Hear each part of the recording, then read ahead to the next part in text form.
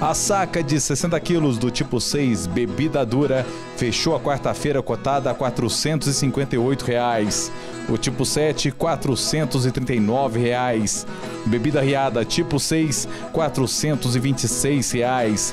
Já o tipo 7, bebida Rio, 333 reais. No mercado futuro para março, a saca está cotada a 125 dólares, queda de 80 centavos de dólar.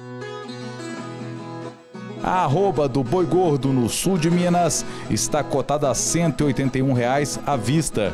30 dias, 183 reais. A média do litro do leite tipo C padrão em Belo Horizonte é de R$ 1,26.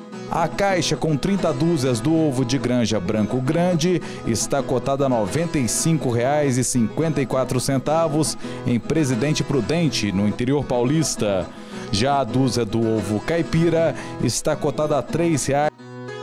A saca de 60 quilos do milho seco está cotada a R$ 42,84 em Barretos, no interior paulista. A saca de 60 quilos do feijão carioca em Itapeva, também no interior de São Paulo, está cotada a R$ 206,85.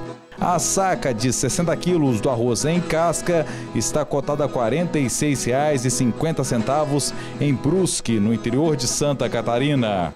A saca de 60 quilos da soja em Buritis, no norte de Minas, está cotada a R$ 72,00.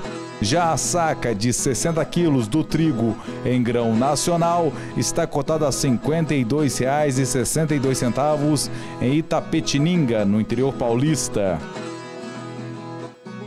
O quilo do abacate está cotado a R$ 2,00 na Ceasa da Grande BH. O quilo do maracujá está cotado a R$ 4,00 na Ceasa de Juiz de Fora. Já o quilo da maçã está cotado a R$ 4,75 na Ceasa de Barbacena. O quilo do alho está cotado a R$ 15,00 na Ceasa da Grande BH. O quilo da batata está cotado a R$ 1,70 na Ceasa de Juiz de Fora. Já o quilo do tomate está cotado a R$ 4,00 na Ceasa de Barbacena.